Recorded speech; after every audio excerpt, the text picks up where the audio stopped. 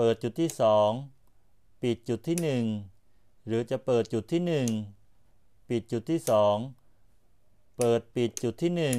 1 เปิดปิดจุดที่ 2 สวิตช์ทางเดียวตัวที่ 1 ควบคุมหลอดไฟหลอดที่ 1 สวิตช์ทางเดียวตัวที่ 2 ควบคุมหลอดไฟหลอดที่ 2 คลิปนี้นะครับ เราจะเปลี่ยนสวิตช์ทางเดียวตัวที่ 1 ใส่เป็นสวิตช์3ทางนะครับ เพื่อจะให้หลอดไฟหลอดที่ 1 สามารถเปิดปิดได้ 2 จุด จุดนี้นะครับจะเป็นด้านหลังของสวิตช์ทางเดียวตัวที่ 1 ควบคุมหลอดไฟหลอดที่ 1 สวิตช์ทางเดียวตัวที่ 2 ควบคุมหลอดไฟหลอดที่ 2 สายลายออกจากเบรกเกอร์เมนก็จะมาเข้าด้านล่างของสวิตช์ทางเดียวทั้ง 2 ตัวนะครับ ออกจากสวิตช์ทางเดียวตัวที่ 1 ก็จะมาเข้าหลอดไฟหลอดที่ 1 ออกจากสวิตช์ทางเดียวตัวที่ 2 ก็จะมาเข้าหลอดไฟหลอดที่ 2 สาย neutral ออกจากเบรกเกอร์ main ก็จะมาเข้าหลอดไฟทั้ง 2 หลอดนะครับ เราจะเปลี่ยนจากสวิตช์ทางเดียวตัวที่ 1 ใส่เป็นสวิตช์3ทาง เพื่อจะให้หลอดไฟหลอดที่ 1 สามารถเปิดปิดได้ 2 จุดนะครับ off เบรกเกอร์ถอดสวิตช์ทางเดียวตัวที่ 1 ออกนะครับ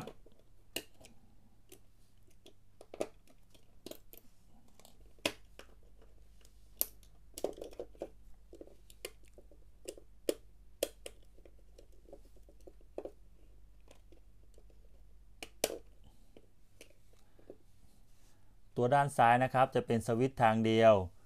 ตัวด้านฝานะครับจะเป็นสวิตช์3ทาง ตัวนี้นะครับจะเป็นด้านหลังของสวิตช์3ทาง รูด้านบนนะครับ 2 รูนี้ก็จะต่อถึงกัน จะเป็นหมายเลข 0 ส่วนด้านล่างซ้ายนะครับ จะเป็นหมายเลข 1 ด้านล่างฝานะครับจะเป็นหมายเลข 3 เราจะประกอบสวิตช์3ทางเข้ากับหน้ากากจุดที่ 1 นะครับ สวิตช์3ทางจุดที่ 1 และสวิตช์3ทางจุดที่ 2 นะครับ สายลายออกจากเบรกเกอร์เมนก็จะมาเข้าด้านล่างของสวิตช์ทางเดียวตัวที่ 2จ้ำจากสวิตช์ทางเดียวตัวที่ 2 ก็จะมาเข้าสวิตช์3ทางจุดที่ 1 หมายเลข 0 สายลายนะครับจากสวิตช์ทางเดียว ตัวที่ 2 ก็จะมาเข้าหมายเลข 0 ของสวิตช์3ทางจุดที่ 1 ออกจากสวิตช์3ทางจุดที่ 1 หมายเลข 1 ก็จะมาเข้าหมายเลข 1 ของสวิตช์3ทางจุดที่ 2 ออกจากสวิตช์3ทางจุดที่ 1 หมายเลข 3 ก็จะมาเข้าสวิตช์3ทางจุดที่ 2 หมายเลข 3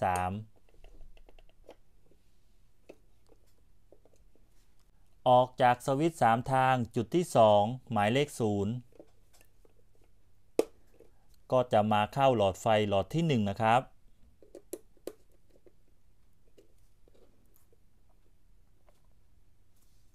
สายลายออกจากเบรกเกอร์เมนก็จะมาเข้าด้านล่างของสวิตช์ทางเดียว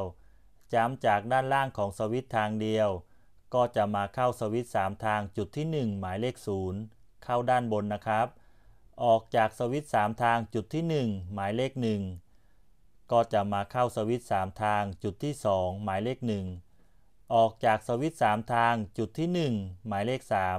3 ก็จะมาเข้าสวิตช์3ทางจุดที่ 2 หมายเลข 3 ออกจากสวิตช์3ทางจุดที่ 2 หมายเลข 0 ก็จะมาเข้าหลอดไฟนะครับ สายนิวตันออกจากเบรกเกอร์เมนก็จะมาเข้าหลอดไฟทั้ง 2 หลอดนะครับ ต่อไปเรามาทดลองกันเลยนะครับ on breaker เปิดสวิตช์ทางเดียว หลอดไฟก็จะสว่าง ปิดสวิตช์ทางเดียว หลอดไฟก็จะดับนะครับ เปิดสวิตช์3ทางจุดที่ 1 หลอดไฟก็จะสว่าง ปิดสวิตช์3ทางจุดที่ 1 หลอดไฟก็จะดับนะครับ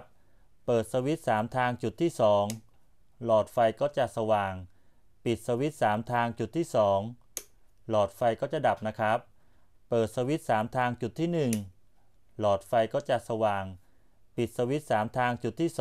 2 หลอดไฟก็จะดับนะครับ เปิดสวิตช์3ทางจุดที่ 2 หลอดไฟก็จะสว่าง ปิดสวิตช์3ทางจุดที่ 1 หลอดไฟก็จะดับนะครับ เปิดจุดที่ 2 ปิดจุดที่ 1 หรือจะเปิดจุดที่ 1 ปิดจุดที่เปิดปิดจุดที่ 1 เปิดปิดจุดที่ 2 หากชอบคลิปนี้กดไลค์กดติดตามเป็นกำลังใจให้ผมด้วยนะครับสำหรับคลิปนี้ สวัสดีครับ